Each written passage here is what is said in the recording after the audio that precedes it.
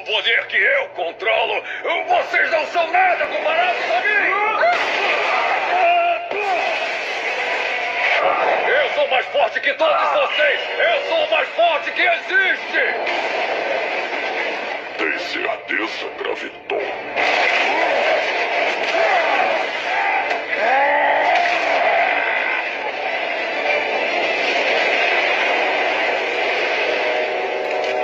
Esse é Graviton. E como o próprio nome dele induz, ele é capaz de manipular uma das quatro forças fundamentais da natureza, que é a gravidade. E como esse carinha aqui conseguiu seus poderes? Franklin Hall, como ele era conhecido, era um cientista que tentou criar um dispositivo de teletransporte. Como a gente sabe, né, que todo bom superpoder vem geralmente de um acidente trágico, com esse carinha aqui, ó, não foi diferente. O seu dispositivo sobrecarregou até explodir, bem na cara dele. E a explosão conectou as partículas de graviton de uma maneira tal que ele conseguia manipular a gravidade, tornando ele um vilão extremamente perigoso devido à proporção de seus poderes. E ele também é bastante egocêntrico.